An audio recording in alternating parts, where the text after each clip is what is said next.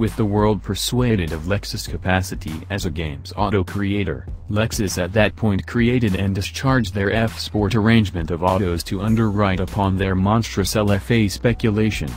Lexus F-Sport autos are generation Lexus extravagance autos tuned to a higher condition of execution than the base models that produced them.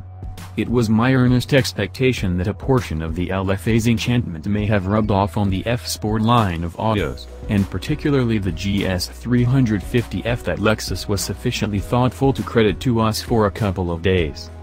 After the ceaseless tide of dim and silver autos we've been driving of late, the GS350F Sport that was conveyed to us was an appreciated help. It came in the brightest, most state-of-mind lifting shading we've seen in for a little while. Called ultrasonic blue mica, it evoked many compliments.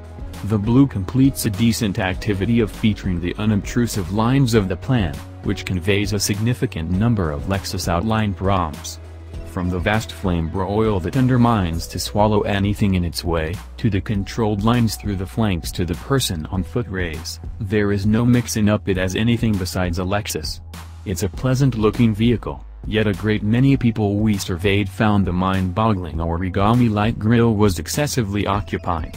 In the wake of seeing the front, the sides and back of the auto appear to be relatively exhausting, however there were some exquisite touches. The taillights specifically are a delightful adjust of effortless symmetry and shading. On the off chance that you wind the mode dial to Sport once more, you draw in Sport Plus mode which additionally solidifies the suspension and directing for a sportier drive. This influences the auto to wake up and gives it some bona fide brandishing feel. The suspension comprises of two-fold wishbones in advance and a multi-connect setup in the back. It's a decent setup.